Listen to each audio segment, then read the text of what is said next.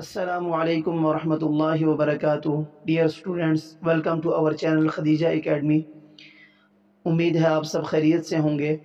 آج ہم chapter number one کے آبجیکٹیو پارٹ کو سالو کرنے جا رہے ہیں۔ تو آئیے شروع کرتے ہیں۔ بسم اللہ الرحمن الرحیم number one mark the correct answer using tick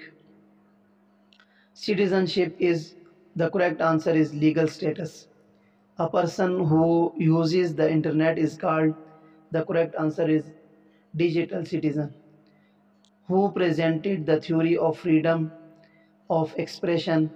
The correct answer is john stuart mill.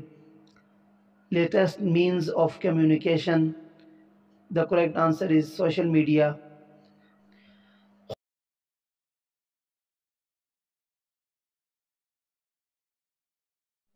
Number two, put tick in front of the correct statement and cross in front of incorrect statement.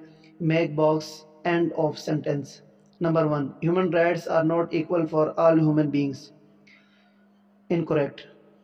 Freedom of expression can convey one's thoughts and information to others through speech and writing. Correct. Peace and number three, peace and harmony have a negative impact on every member of society. Incorrect. Number four, respecting people's personal information is not part of the ethical requirements.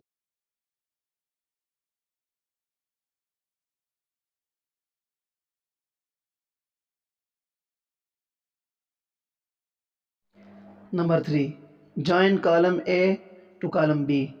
Column A, column B.